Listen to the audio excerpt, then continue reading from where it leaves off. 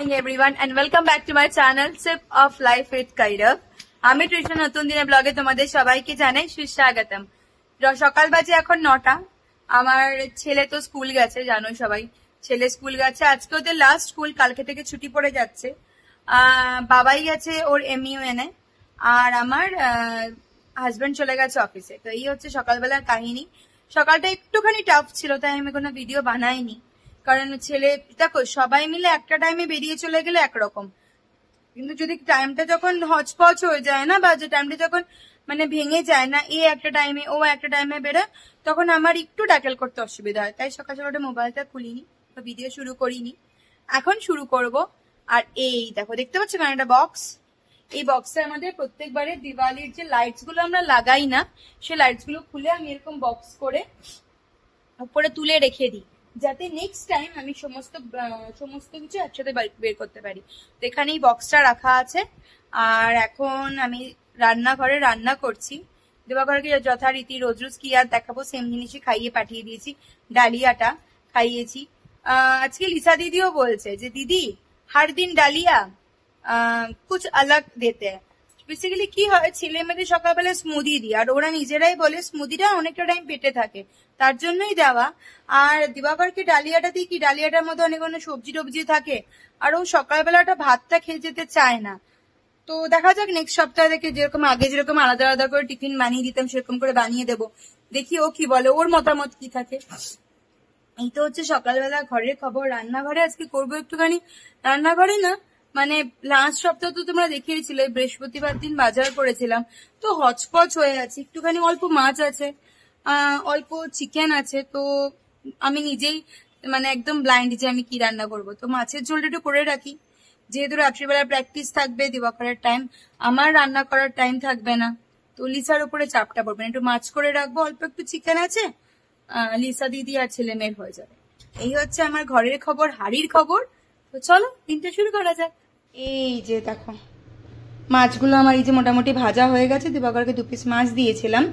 আর এই যে অল্প একটু ডালিয়া আছে, আর এখানে আমি এখন বানাবো মাছের ঝোল। তো কিছু না সিম্পল করে বানাবো, তবুও একটু দেখিয়ে দিই। একটা দেবো শুকনো লঙ্কা ফোড়ন, আর এর মধ্যে আমি হাফ টমেটো পেঁয়াজ, আদা, পেঁয়াজ, রসুন আর লঙ্কা দিয়ে পেস্ট বানিয়েছি। সেটাকে দেবো, দিয়ে একটু গা মাখা গা মাখা ঝোল করে করব। আর যেহেতু দিবাকরে একটুখানি সুগার লেভেলটা হাই থাকে, তাই আমি এর মধ্যে কোনো আলু দেবো না। তো চলো, রান্না করে দিলি পেঁয়াজ, আদা, রসুন দিয়ে মশলাটাকে অল্প একটুখানি কষালাম। যেহেতু অল্প কয়েকটা মাছ না, বাস আমি এর মধ্যে দেব অল্প একটু জল, অল্প জল দেবো হাফ কাপ মতো জল দেবো। ব্যাস হয়ে গেল। ব্যাস এর মধ্যে দিয়ে দেবো মাছ। তাই হয়ে গেল আমার। সিম্পল চা, পাতলা চা ঘরোয়া মাছের ঝোল রেডি আমাদের বাড়িতে তোমরা সবাই জানো, পাবদা মাছটা খুব বেশি করে খাওয়া হয়। তো এখানে করছি আলুগুলোকে ফ্রাই আলু দিয়ে আজকে সর্ষে দিয়ে করব পাবদা মাছ। আলু ফ্রাই করা হয়ে গেছে। আর এখানে হচ্ছে এই যে পাবদা মাছটা ভেজে রাখা হয়েছে। আর এখানে আছে পাবদা মাছ। এটা দিয়ে করব সর্ষে দিয়ে করব এটাকে একটুখানি গামাখা গামাখা ঝোল। সর্ষে দিয়ে লঙ্কা দিয়ে। একটুখানি আমি লঙ্কা দিয়ে বাটি যাতে সর্ষেটা একটুখানি ঝাল ঝাল খেতে একটুখানি হালকা ফুলকা ঝাল ঝাল থাকে। আর আজকে পাবদা মাছের মধ্যে দিয়েছি আলু। এই দেখো এখানে আমি ভালো করে সর্ষেটাকে পিষে নিয়েছি। এই দেখো।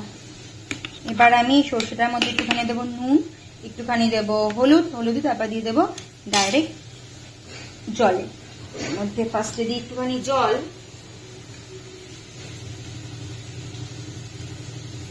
এবার আমি এটাকে দিয়ে দেবো তেলে।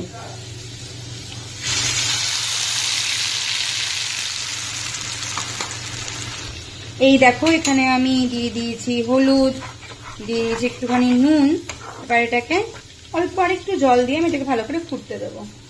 বেশি একটুখানি ঝোল ঝোল, একটুখানি পাতলা ঝোল, একটুখানি গামাখা মাখা মাখা করে করব।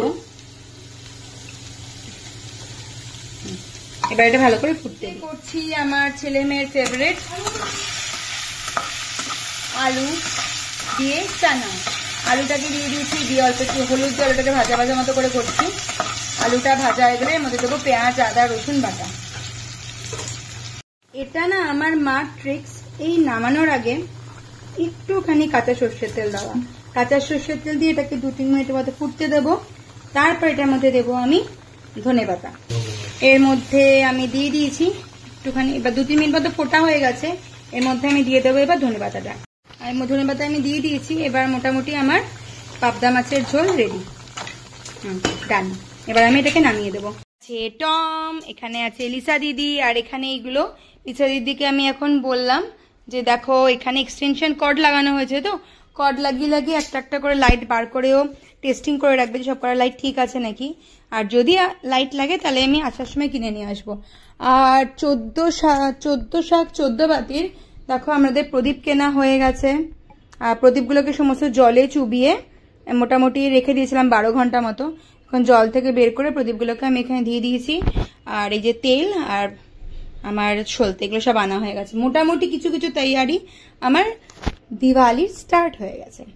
তো চলো এখন আমি বেরোচ্ছি অফিসের জন্য আর এই যে অনেক কাজ করেছে সারাত্রির ভরে এখন এখন- ঘুমোচ্ছে আমি বেরোই দেখা হবে অফিস থেকে ফিরে এসে দিশা দিদি সে বাই বিজি বিজি ডেট তো চলো, কালকের ব্লগটা আমি এখানেই শেষ করছি। কালকে ক্লোজিংটা নিতে ভুলে গেছিলাম। দেখা হবে খুব জলদি একটা ঝকঝকে তকতকে নতুন ব্লগের সাথে। তখন অব্দি bye good night সবাকার happy Diwali to all of you খুব খুব ভালো করে দিওয়ালিটা কাটো সেফলি কাটো পাটাকা যদি ফাটাও প্লিজ অল্প দূর থেকে ফাটাবে ভালো করে দিওয়ালি সেলিব্রেট করো। আজকে আমার ঘরে লাইট ফাইট লাগার জন্য তোড়জোড় শুরু হয়ে গেছে। ফেস্টিভ ফেস্টিভ তো চলো, ভালো থেকো।